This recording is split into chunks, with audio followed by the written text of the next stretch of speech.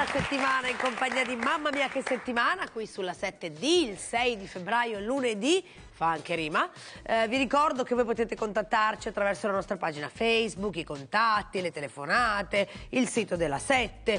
Insomma, contattateci perché noi siamo qua, saremo qua tutti i giorni della settimana dalle 17.40 per un'ora, in compagnia vostra, in compagnia dei nostri ospiti che presento, partendo da Piero Biondi. Buongiorno Piero, ciao. Ciao Camila, buonasera a tutti. Passando a Federico Ghiglione che è tornato Ciao. a trovarci. Ciao Federico. Ciao. Uh, ve ne avevamo parlato già la scorsa settimana perché Federico tiene dei corsi uh, per come diventare il papà, il super papà, insomma, il supereroe del papà.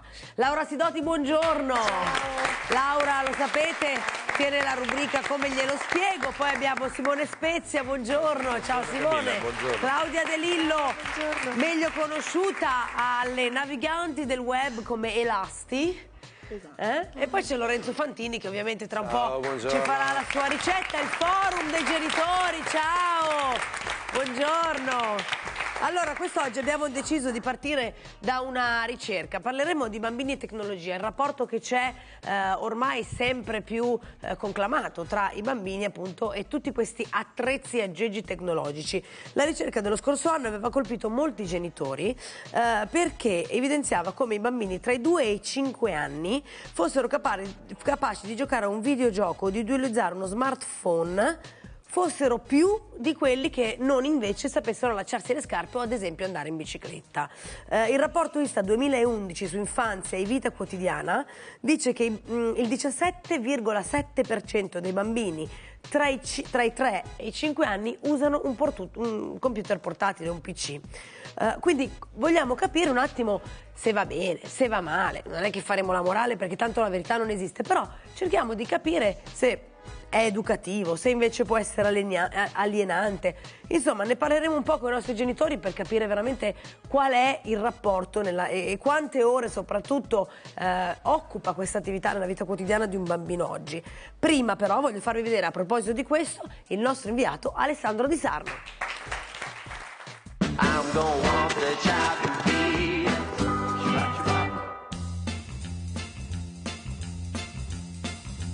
I tecnobambini, iPad, PC, videogiochi, eh, sì. pro o contro?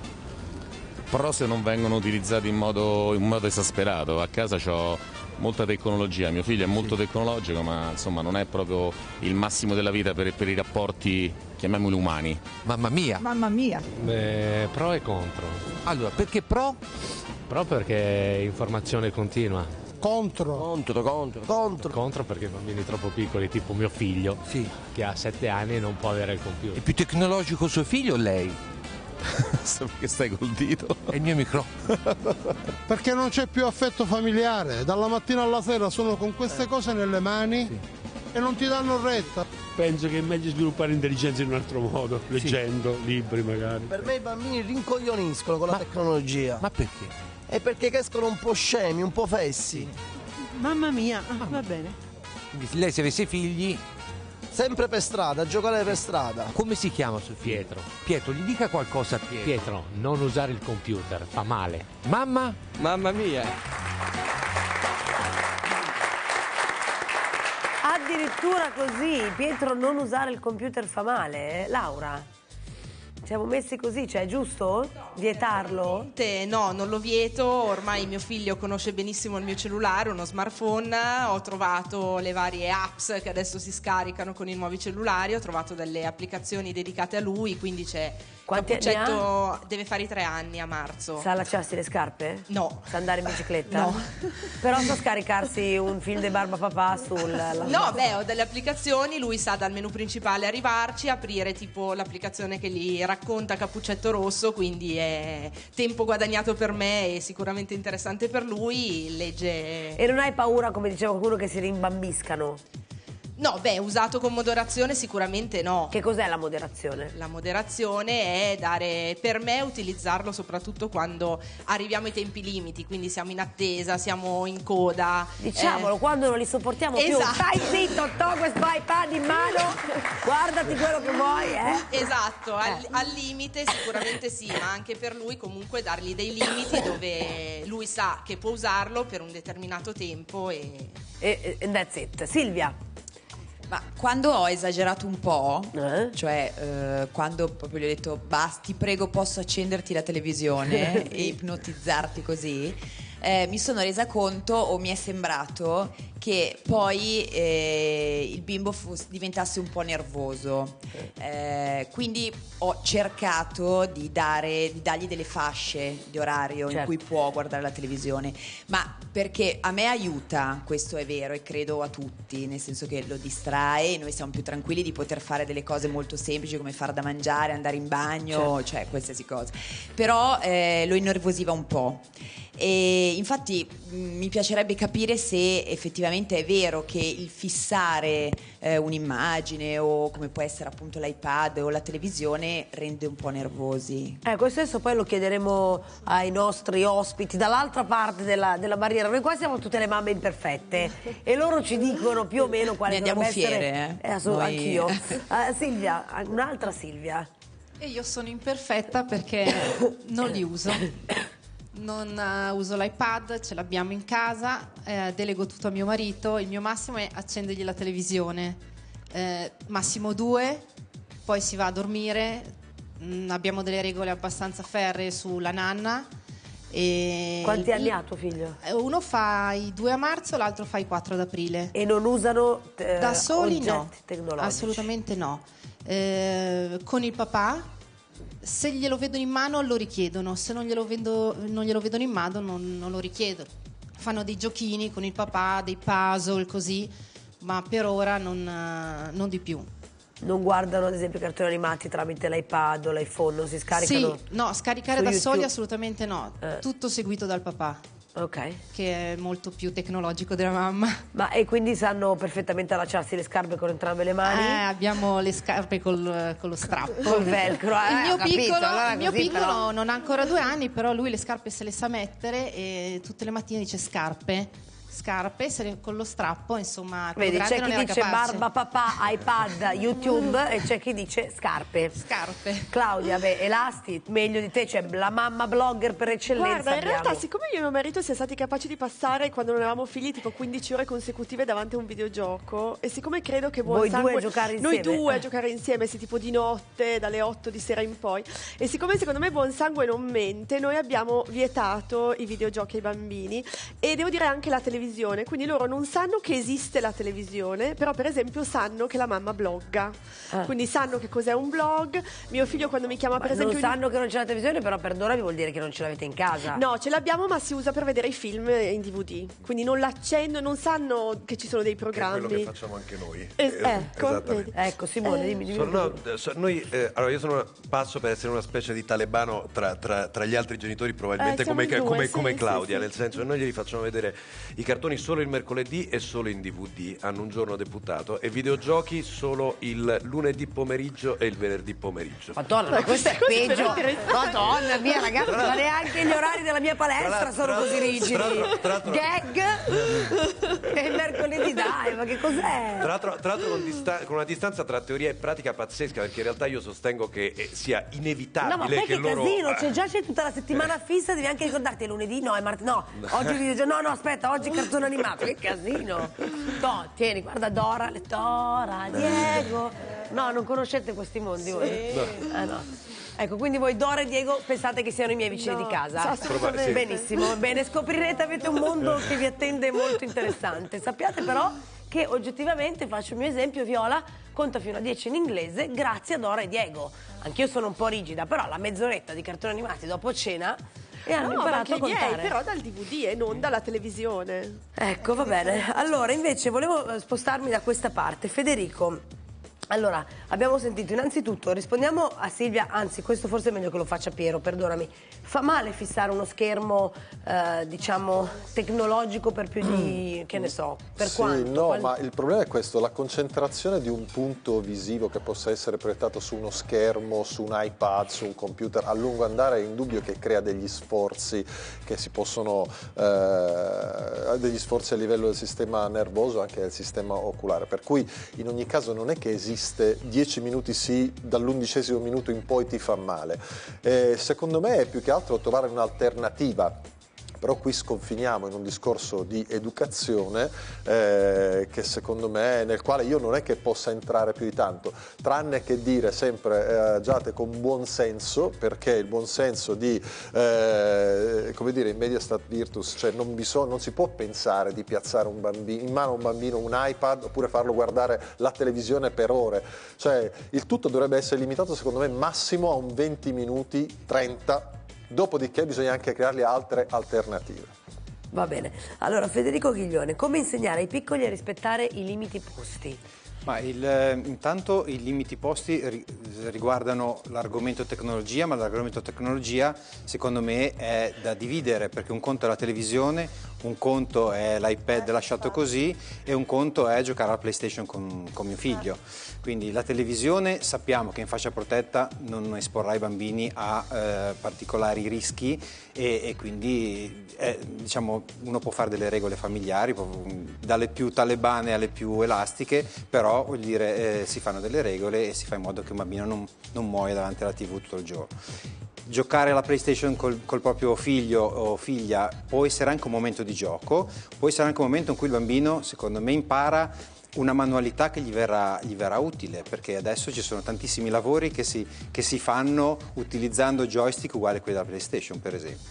Diverso è invece l'iPad che a me ha dato qualche problema di recente, e cioè lasciare un bambino con l'iPad mh, vuol dire che questo bambino va su Google o su YouTube, digita quello che vuole e, e- e quindi noi non sappiamo. rischioso, tu Sì, io ho trovato sulla cronologia eh, di mio figlio che ha sette YouPorn. anni, no, eh, donne con le tette nude e ho detto forse è il momento di stare un po' attenti, Eh sì. ai- non perché le tette nude siano un, un tabù No, eccessivo, perché forse ma è perché su YouTube si trova anche cose eh, stra- Gradevoli. Sì, che Di cattivo gusto, sì. sono Io posso rispondere a quella mamma, in realtà che aveva chiesto se fa bene o se fa male, in realtà sono i processi mentali attivati che sono completamente diversi. Nel momento in cui io leggo ho un tipo di processazione lineare, quindi sequenziale, invece nel caso della televisione o dei videogiochi sono delle immagini frammentate che quindi anche un bambino che è abituato ad avere una modalità di apprendimento solo attraverso la televisione ne soffrirà al momento in cui arriva a scuola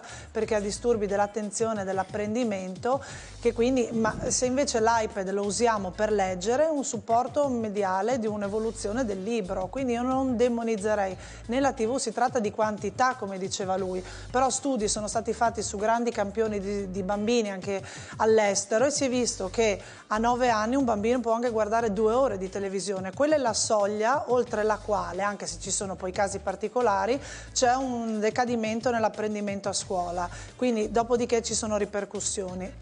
A 13 anni questa quantità diminuisce a un'ora e mezza a 17 addirittura mezz'ora.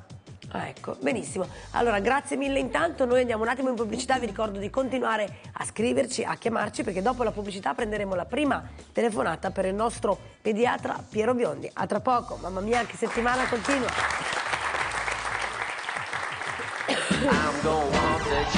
I'm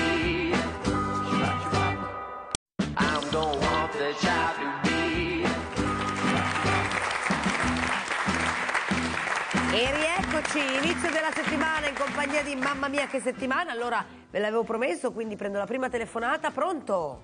Buongiorno, Sì, ciao, buongiorno. Chi sei e da dove chiami? sono Loretta e chiamo da Modena.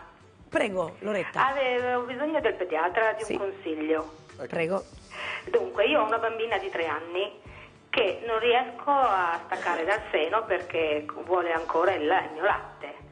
E faccio di tutto, gli dico che mi fa male, che questo. Durante la giornata che sta con mia madre non cerca mai il seno, però la sera quando arrivo da lavorare mi spoglia, mi tira via la maglia, vuole, vuole ciucciare, dice anche solo un minuto, anche solo un minuto, e così anche la notte, così.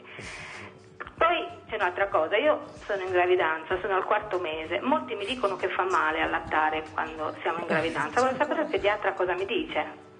Loretta, una domanda prima che poi risponda Piero Biondi. Ma tu hai ancora latte? Un po' sì, Un po' sì. non, non- non tantissimo ma un po' ce l'ho ancora.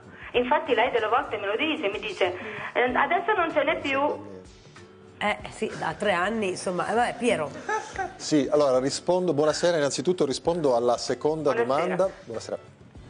che è quella se ci sono delle controindicazioni ad allattare in gravidanza.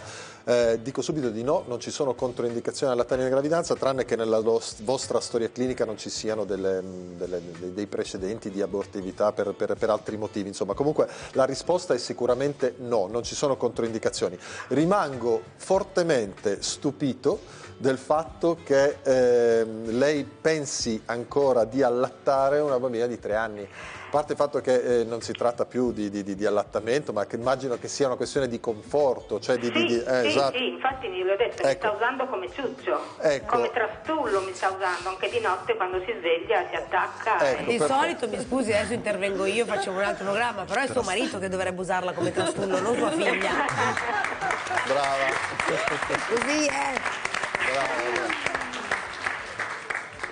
Immagino che la risposta le sia stata già data, io non aggiungerei nient'altro. Signora, il fabbisogno del- del- del nutritivo da parte di sua figlia di tre anni sicuramente non viene colmato da, quel- da quei minuti. Quindi bisogna essere, come si fa a staccarla? più Dirle decisa, basta? signora, punto e basta. Da questo momento non allatti più, un po' No, più di buonsenso. Anche perché adesso, Loretta, mi viene in mente, chiedo a Piero perché veramente non lo so, neanche io sono curiosa di saperlo.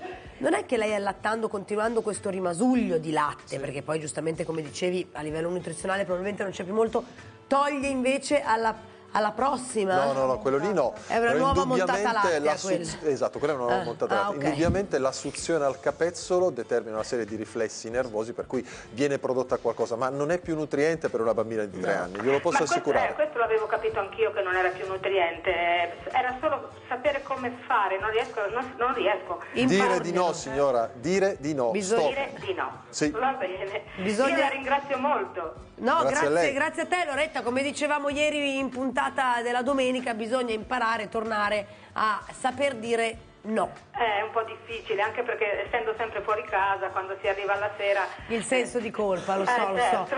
Ecco, lui è il demone che fa lavorare tutte noi mamme. Grazie Loretta, Grazie bocca al lupo, ancora, mi grazie. raccomando, categorica, basta, la, mia- la tetta è mia e me la gestisco io, questo è il tuo mostro. proverò, grazie. Grazie a te Loretta, ciao. Ciao. Volevo andare da Simone Spezia adesso a vedere se stanno arrivando messaggi, Allora, eh, Facebook, c'è qualcosa, la, la prima è un eh, è correlato a quello che abbiamo appena sentito ed è Giorgia che ci scrive i complimenti, dice che è un momento stupendo l'allattamento di condivisione mamma-figlio, il mio bimbo ha 4 anni e continua ad allattarlo al seno, quindi evidentemente sì. Che voglia. La notte lo portano a letto male quando me. militare poi non vogliono più allattare. Come? Dico spero non ci rimanga male la mamma quando a un certo punto al militare, prima di partire, vabbè che adesso non parto neanche per il militare, però prima di andare all'università il bambino ancora non ciuccerà. Ecco, magari gli sarebbe un buon, tu Eh, dici, un buon sì. momento per staccarle. sì, sì, Mm. No, tra l'altro eh, io ho tre maschi, quindi si configura come stupro a un certo punto, nel Eh. senso che arrivano, ti aprono la camicetta, si attaccano, è una cosa un po', da No, io, no, no, no, io lo potrei concepire dopo i 12 mesi, Sì, ecco, massimo. Poi vabbè, sul tema della tecnologia, eh, io non ho nulla contro la tecnologia, ma ci sono tecnologie buone e cattive. Eh, sul tablet eh, ci sono un sacco di applicazioni molto educative, per esempio per imparare le lingue. Certo, se invece le tecnologie sono i videogiochi, allora sono nettamente contraria. Io devo dirti la verità, nonostante sia un talebano, sono contrario a questa posizione perché in realtà mh, i videogiochi hanno dire, dei vantaggi notevoli per certi aspetti. Poi viva le tecnologie, Carlo da Forlì ci scrive, giocare con i videogiochi ha due pregi, far star buoni i piccoli dando il tempo a me e mia moglie di ricavarci un po' di intimità e quindi per eliminarsi, per, per toglierseli dalle, dalle scatole. In più unisce la famiglia perché la domenica giochiamo tutti insieme. Questo è quanto. Claudia. No, mi inquieta un po' l'intimità mentre i figli, cioè cosa fanno? Le lasciano in, in sala e dico scusate ragazzi, noi andiamo un Beh, attimo sì, di là. si appartano un attimo in bagno dove devono appartarsi. Sarà che i miei appena si chiude una porta, bam, bam, bam. Quindi anche col videogioco credo che... Magari è più utile quando sono al parchetto con- Esatto, con la nonna. tipo. esatto, stai anche più tranquillo tu. Insomma. Sì, assolutamente. Va bene, è arrivato un nostro momento fisso di questo programma, già ormai dovreste conoscerlo. Seguiamo giorno per giorno la storia di tre donne molto diverse tra loro e scopriamo com'è la loro routine quotidiana appunto con un bambino appena nato. Ecco, le nostre tre mamme. I'm the child to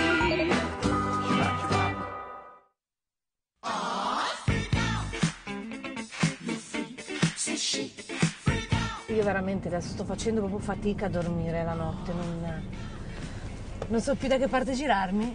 Non Poi- sa neanche a parte di mettere sta panza. no, esatto. Faccio veramente fatica, cioè dormo proprio male. Cioè, questi giorni lo sento che è, è- è grosso, è proprio grosso, la pancia è veramente ingombrante, faccio fatica a fare, a fare tante cose. Cioè, io sto morendo dalla curiosità. Adesso che abbiamo il fasciatoio nuovo, bello montato, la culletta. Alessandro ha fatto la prova a pannolino ieri. Sì, sì, l'ho beccato con l'orsacchiotto. Faceva finta di mettere il borotalco, poi ha preso una salvietta, gli ha messo, l'ha, messo come se fosse il pannolino. Ti ho guardato, ho detto. Pensa, pensa che cosa, che- che- che cosa ho creato.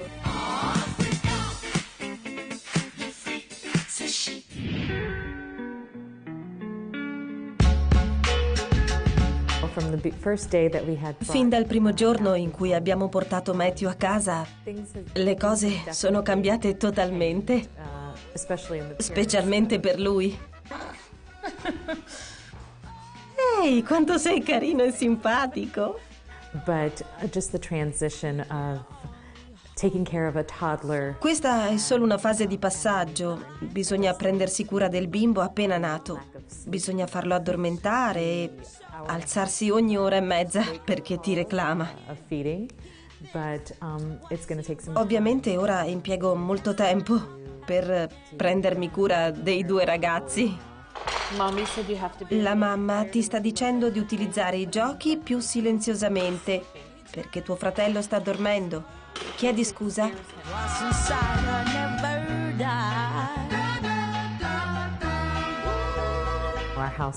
Casa mia è davvero animata ed è così meraviglioso.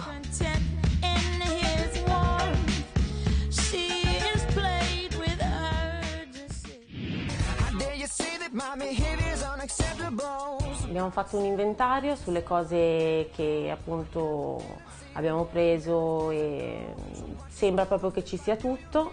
Ciuci, salviette, pannolini, biberon, eh, termometro per il bagnetto, spugna, ci dovrebbe essere tutto.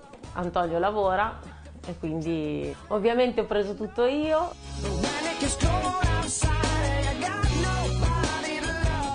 Visto appunto l'esperienza che mi porto del nido, sicuramente mio figlio me lo voglio vivere appunto da sola, ma non perché appunto non voglio né i miei suoceri né i miei genitori, ma è una cosa proprio che è un mio desiderio.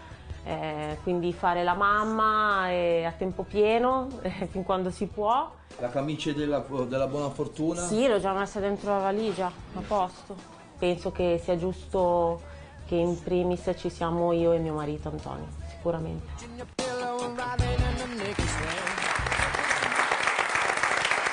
Ecco, abbiamo visto come eh, sono diversi i temi toccati come al solito dalle nostre tre mamme, anche perché tantissimi sono i temi nel nostro quotidiano, dalla borsa al fratellino. eh.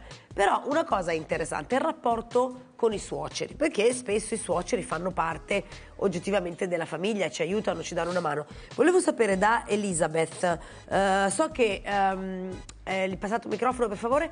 Elisabeth, tu di dove sei originaria? Del Togo, Del Ovest Togo. Africa. Ecco, e so che lì c'è tutto un rapporto molto particolare con, il- con la suocera in modo... Sì, la suocera in casa fa il ru- il ruolo di- del com- della comandante, ecco.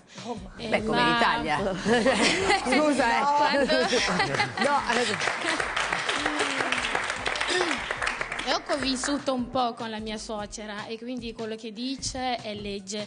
Anche se ci sono delle decisioni, magari delle cose che vorresti per confidenza, così glielo dici prima ancora di dirlo a tuo marito, e ahia, non hai fatto bene perché era meglio dirlo a prima a lui, perché lei potrebbe dire no, non dirglielo. eh." E poi c'è la paura che se lo venisse a sapere non gliel'ho detto e c'è, questo, c'è stato questa cosa qua una- un cambiamento molto importante in casa con me che ho detto a lei per prima, ma anche per paura di vedere come avrebbe gestito la cosa l'uomo. Però lei mi ha detto no, non dirglielo, aspetta. Solo che non ho rispettato, io sono andata gli ho detto senti, la- questa è la situazione. E quindi dalla E reazione di suo lei? figlio... Hai ragione, no, perché ero in gravidanza, ecco. Eh. Ero in gravidanza dopo il primo figlio E siccome eh, mio marito ancora in quel momento non voleva un altro figlio per momento, io ho detto, sono andata da, lui, da lei e ho detto ma cosa faccio, cosa gli dico? E lei ha detto no, non dire aspetta. niente. E tu invece l'hai detto tuo marito? eh, sono andata a dirgli. E qual è stata la reazione del marito? Eh, non era, era quello che mi aspettavo, infatti non era molto, molto contento e lei mi ha detto, hai visto, te l'avevo detto. Cioè, se tu vivi, eh, perché poi loro sono del Nigeria, io sono del Togo, e dice, nella nostra cultura del Yoruba, quando la suocera ti dice una cosa, quello devi fare, il Eh. marito non conta.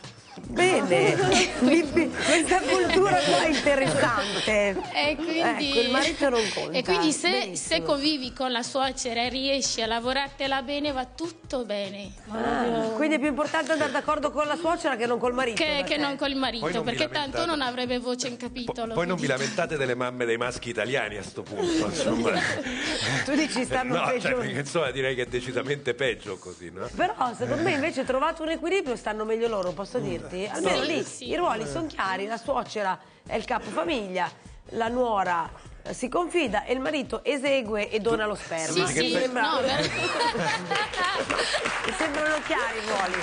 Bene, allora io volevo prendere un'altra telefonata. Pronto? Grazie Elisabeth. eh. Pronto? Salve a tutti, sono Ivan, Ciao Ivan, da dove ci chiami? dalla provincia di Torino. Che bello, finalmente un papà. Oh. Eh, un papà, sì, un papà preoccupato. Di che cosa? allora, io vi spiego, io sono separato da circa due anni e mezzo. Sì. E ho un bambino di cinque anni e mezzo, con il quale ho un bellissimo rapporto. Sì. Eh, le- la mia ex moglie, con il quale vi- ovviamente il bambino vive, sta per avere un altro figlio. Ed io vorrei sapere come affrontare la situazione in modo che non venga a mancare l'equilibrio che si è creato tra me e il bambino.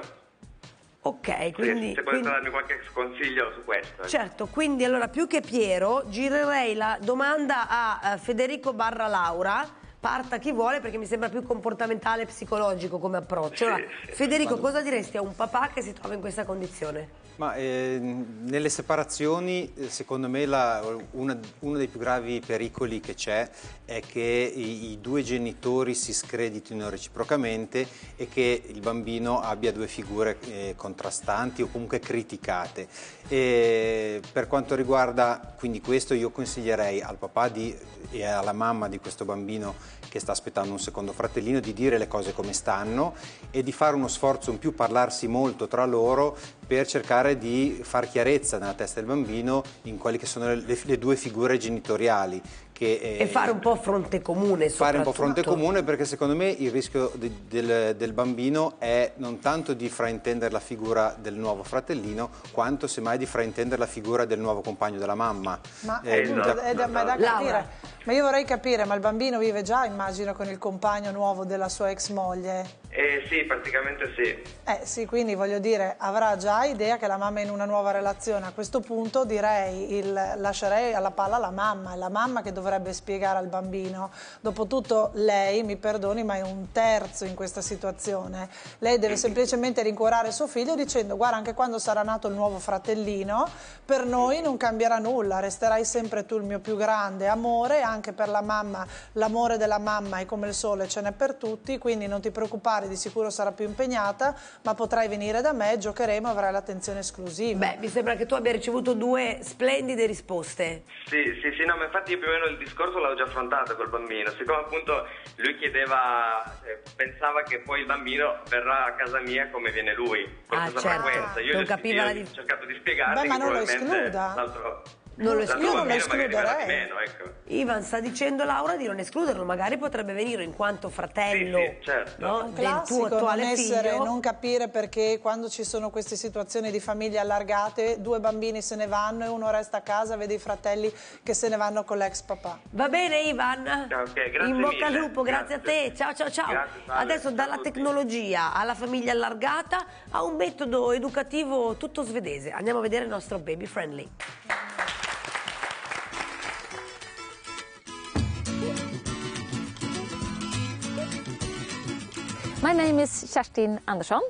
Mi chiamo Kerstin Anderson e sono la presidentessa dell'organizzazione i ur ok skur.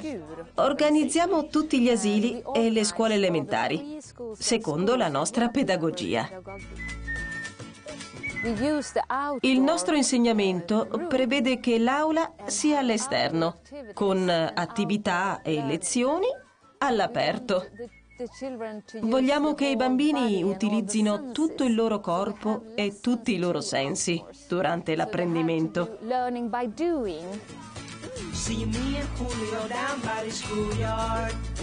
Quando sciano si rendono conto del loro corpo. Qui i bambini possono svolgere diverse attività, come ad esempio fare costruzioni con la neve. Quando non nevica facciamo trekking, camminiamo nei boschi, disegniamo all'aperto.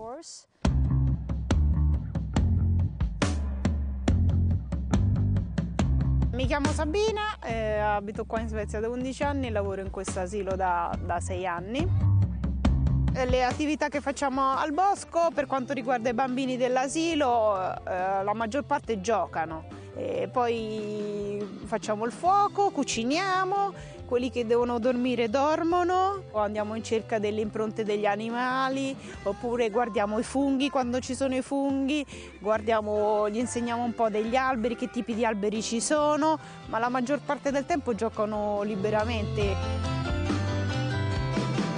Today, when there Oggi ci sono meno di 4 gradi e i bambini trascorrono circa 4 ore all'aperto. Quando invece fa più freddo, con meno 20 gradi, trascorrono circa 2 ore all'esterno. Ma durante l'estate o in autunno e primavera, i bambini stanno quasi tutto il giorno fuori. Riteniamo che sia molto salutare stare all'aperto. Pensate che addirittura i bambini dormono all'esterno, perché quando sono all'interno, sdraiati su letti vicini, aumenta il rischio che si passino delle malattie a vicenda, mentre quando stanno all'aria aperta non prendono malattie. E anche le maestre risultano essere molto più in salute e non si ammalano.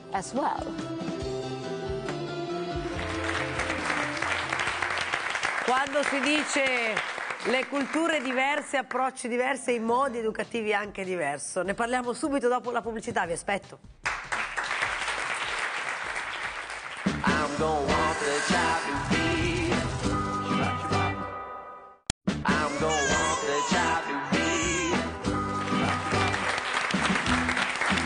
E rieccoci, come potete immaginare durante la pubblicità si sono scatenati tutti a commentare questo RWeb che vi abbiamo fatto vedere sul baby friendly, su questo asilo in Svezia che diciamo tiene i bambini a una temperatura che varia dai meno 4 ai meno 20, un po' come le stagionature nel- nell'abbattitura della carne o del pesce, ecco, e, e quindi abbattono sti bambini a meno 20. Eh, chiedo a voi, allora, totalmente ovviamente diverso l'atteggiamento di noi mamme italiane che invece tendiamo probabilmente a fare l'opposto, a coprirli troppo.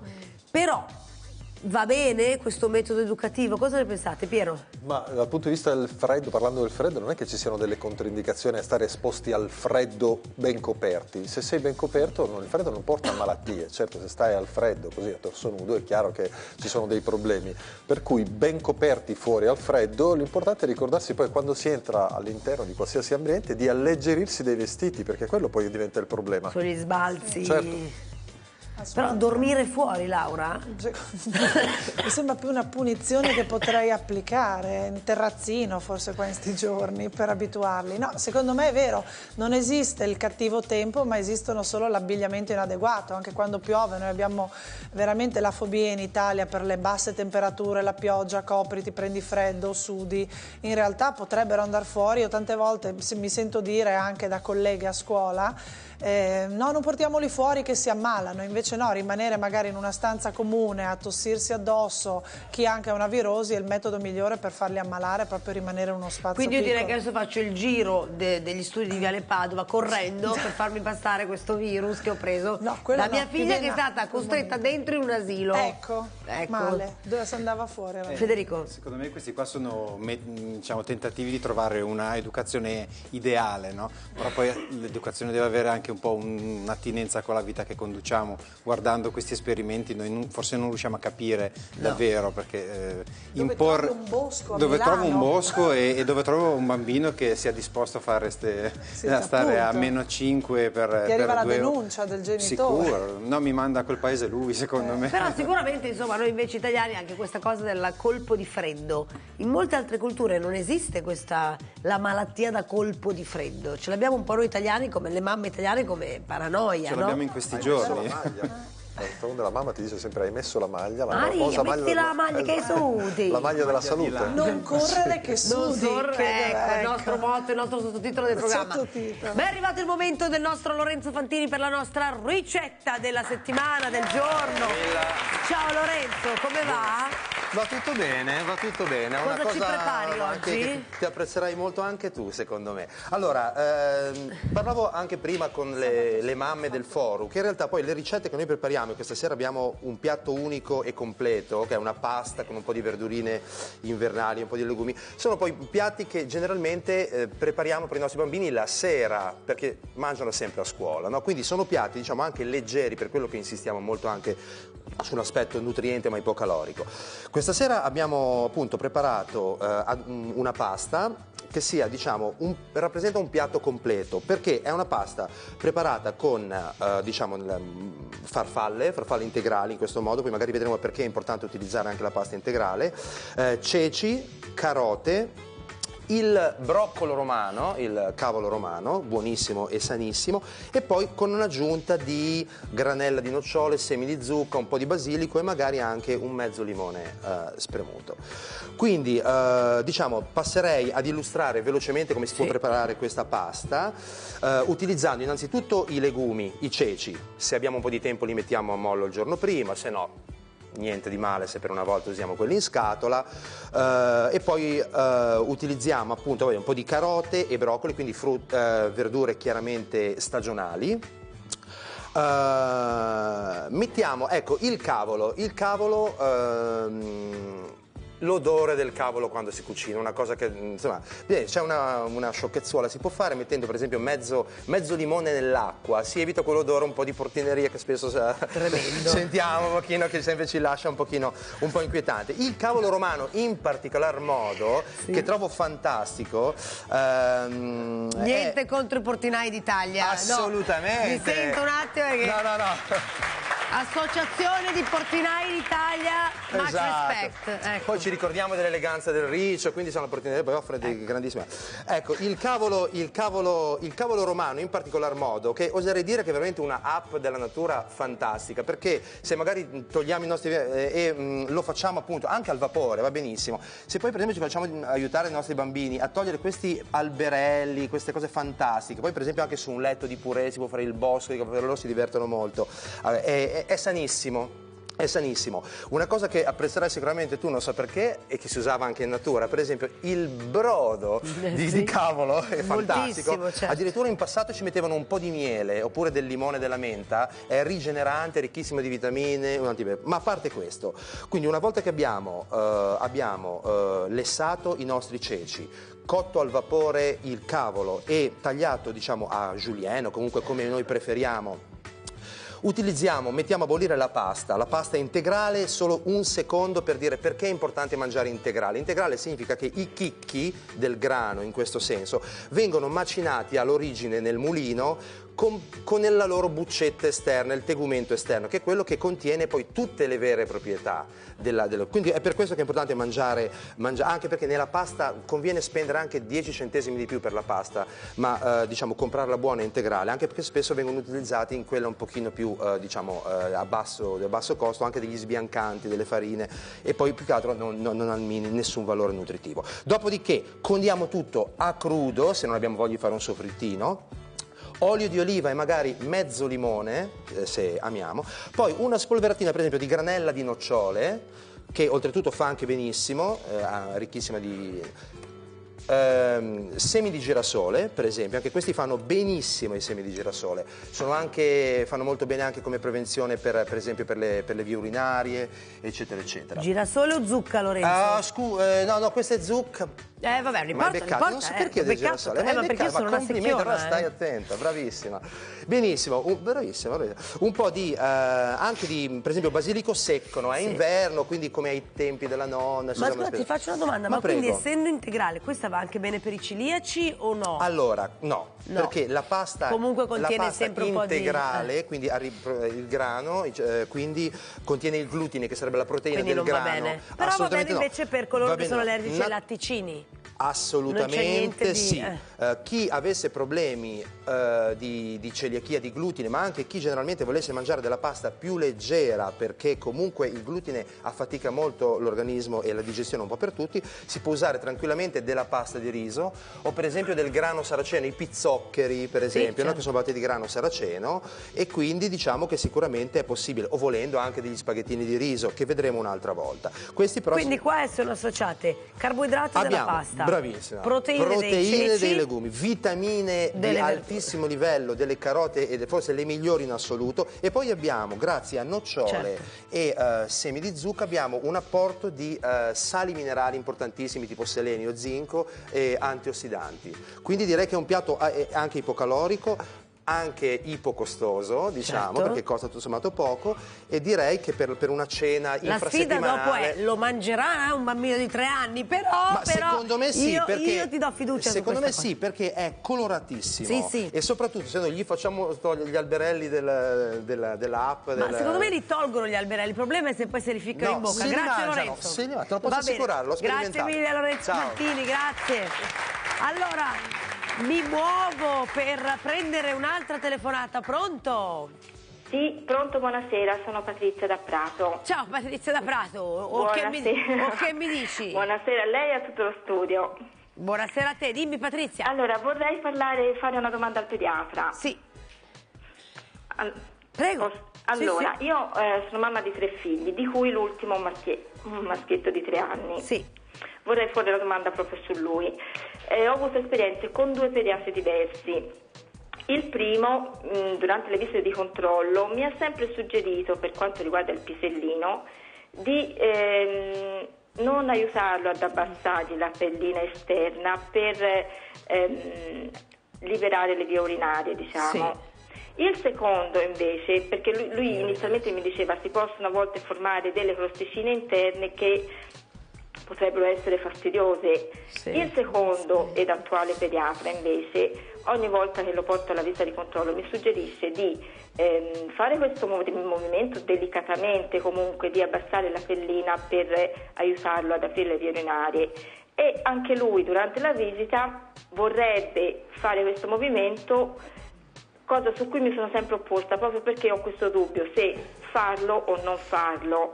Cioè, tu, hai che, tu hai paura che possa creargli un- qualche sorta di trauma fisico? A parte che ho paura che lui senta proprio male fisicamente Ok, e questo mi dispiace. E Certo. poi proprio perché non capisco se va bene sì o se va bene no, ecco. Va bene, allora, Pier- eh, Piero, sì. Buonasera innanzitutto. Allora, il, il fenomeno del quale stiamo parlando, sta parlando la signora, in medicina si chiama fimosi, ovvero c'è l'eccessiva pelle che ricopre il glande, Glande, certo. esatto, e che fa sì che non si riesca completamente a scoperchiare il glande, può a volte presentarsi in alcuni bambini ehm, costituita da un anello un po' più fibrotico, tale da... eh, far sì che è difficoltosa riuscire a mandare indietro la pelle e scoperchiare completamente il glande. Io sono assolutamente contrario per tutte quelle manovre che sono cruente perché queste possono creare in un futuro delle problematiche tipo delle aderenze oppure delle cicatrici che col- mh, voglio dire, possono creare dei problemi al bambino anche banalmente quando sta per urinare, il passaggio dell'urina può creare su una feritina aperta un po' di bruciore. Sicuramente se ci sono delle condizioni cliniche eh, che devono essere valutate da un chirurgo pediatra, anche dal pediatra, nostra. Sì, si può effettuare quello che viene chiamato appunto l'intervento di circoncisione, Certo. cioè banalmente, esatto, sì. Sicuramente porta un'igiene maggiore e in futuro se- sarà un uomo che ha un'igiene maggiore perché appunto riesce anche a una pulizia maggiore di quelle zone che normalmente in un uomo sono un po' più coperte. Certo, anche perché ormai quanti anni hai? Hai detto tuo... Tre, tre. È un Tre intervento anni? che Eh. se va fatto, signora, va fatto verso i 4-5 anni, ma prima di arrivare all'intervento si può pensare anche, se lei nota delle difficoltà, alla... No, no, onestamente no. No, allora se non ci sono difficoltà non penso neanche che debba andare ad arrivare all'intervento, ecco. Ecco. Quindi io posso continuare a non fare niente, insomma, per quanto mi riguarda. Se riesce a tirare indietro la pelle del prepuzio senza nessuna difficoltà non deve far nulla. Sì, sì, riesce, nel senso non... Basta, e allora non c'è assolutamente problema. Anche da solo, a volte con la manina. Ecco, bravo, brava, brava, lo insegni al bambino ogni qualvolta magari va a fare la pipì di fare questo, questo tipo di manovra. Certo. Va bene. Chiarissima, grazie mille per della telefonata. Grazie a lei. Buona giornata, ciao, arrivederci. Laura, oggi come- di che cosa ci parli su come glielo spieghi? Che cosa gli spiegherai oggi? La domanda fra fratelli. Possono essere dello stesso sesso, di sesso diverso. Possiamo fare il bagno assieme? Allora l'idea mi è venuta Dipende perché di mia che amica- età, forse a Eh, 17 appunto, anni. qua, I miei amici maliziosi, la devo dire, appena sentito la domanda mi dicevano certo se la ragazza ha 19 anni e il fratello 25 magari anche no. Eh beh, qua, è vero però. questi però sono delle boccacce Invece di che età stiamo parlando? Stiamo parlando di bambini più piccoli. Nel caso della mia amica, la bambina aveva 9 anni e il maschio ne aveva 6. Allora li ha trovati in vasca da bagno che giocavano. Il maschio era disteso a pancia all'ingiù e la bambina sopra che lo cavalcava. Povere gioie. Lei faceva la sirenetta e lui era il delfino. Niente di male. Certo. Se no che il delfino, quando si è alzato, aveva un'erezione, creatura. Eh sì. Ecco. Da che età Anche- più o meno si hanno le lezioni, Piero? Da subito, sì, da subito si possono avere. Addirittura anche in pancia me l'avevano detto. Sì, sì. Può, essere- può Ah, succedere no, anche. sì. assolutamente. Niente, voi uomini nascete Vedi a, non avere, vedi a far solo femmine? Così. Da subito. Non è un peccato. No, no, a me lo dici. Allora lei imbarazzata l'ha asciugato e poi ha fatto un rapido consulto con il marito e qualche giorno dopo ha annunciato guardate d'ora in poi faremo grandi docce, siete ormai diventati grandi, bisogna risparmiare anche l'acqua, l'ha buttata sull'ecologia.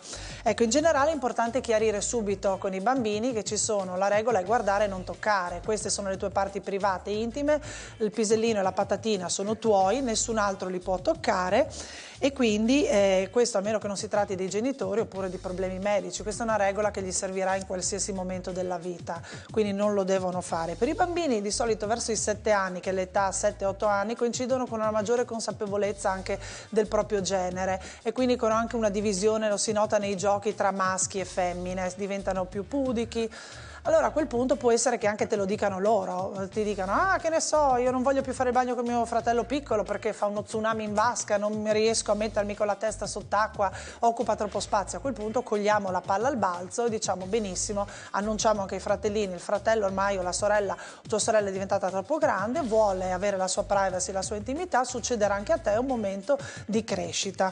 Ecco, l'episodio che ho raccontato, quello è abbastanza comune, però il compito di noi genitori è controllare i segni, quelli che ci sono premonitori, se il chiasso è eccessivo durante il, il momento del bagno, se c'è un'insistenza nel toccare le parti intime, interrompere noi. Questo dobbiamo po- porre una moratoria su queste abluzioni fraterne. Un ultimo dettaglio di una mia amica che vedeva la bambina che iniziava a dire ma io voglio avere il pisellino come mio fratello.